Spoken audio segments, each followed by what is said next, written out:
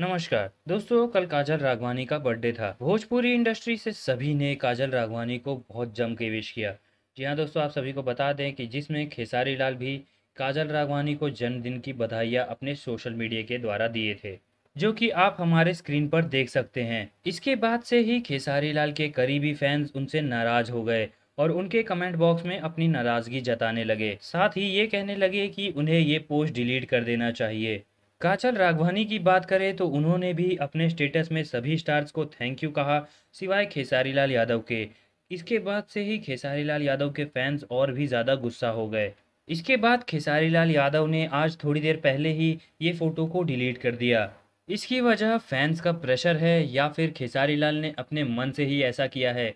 दोस्तों खेसारी लाल ने जो किया, वो गलत था या सही, हमारे कमेंट बॉक्स में बताएँ। साथ ही चैनल को सब्सक्राइब करके बेल आइकन दबा लें। देखते रहिए हम भोजपुरिया नमस्कार।